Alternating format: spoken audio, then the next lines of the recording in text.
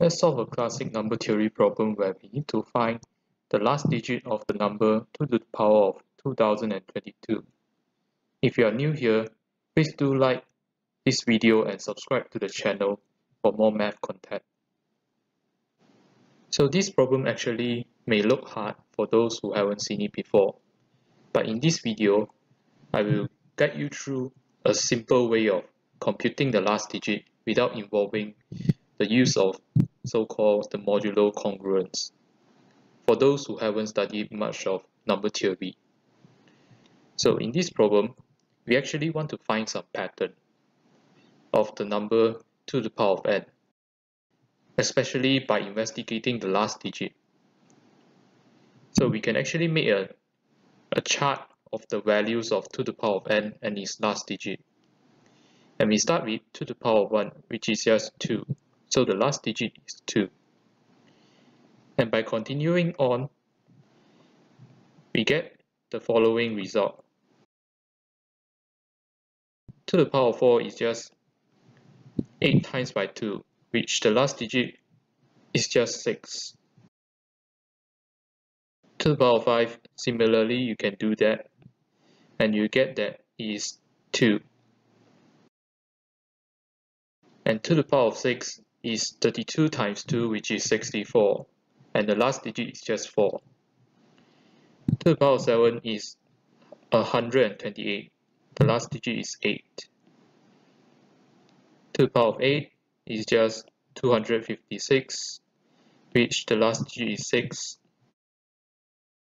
And to the power of 9 is just 512.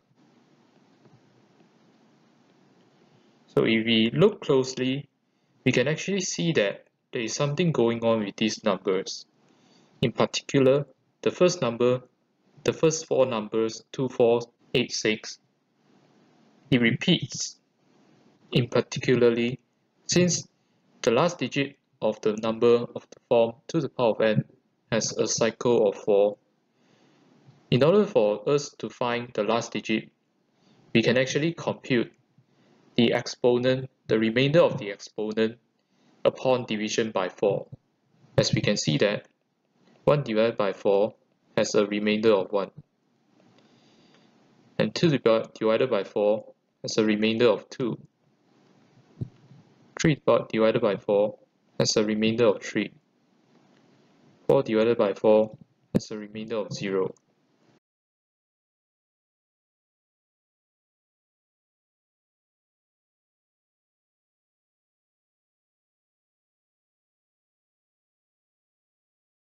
And you can do this so and so forth to get the fact that if the exponent upon division by 4 has a remainder of 1 then the last digit is 2 and similarly if the exponent upon division by 4 it has a remainder of 2 then the last digit of 2 to the power of the number is actually 4 and for other numbers it follows a similar logic.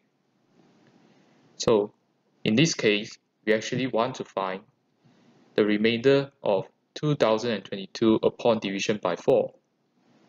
We can note that 2022 is actually equal to 4 times by 505 plus 2.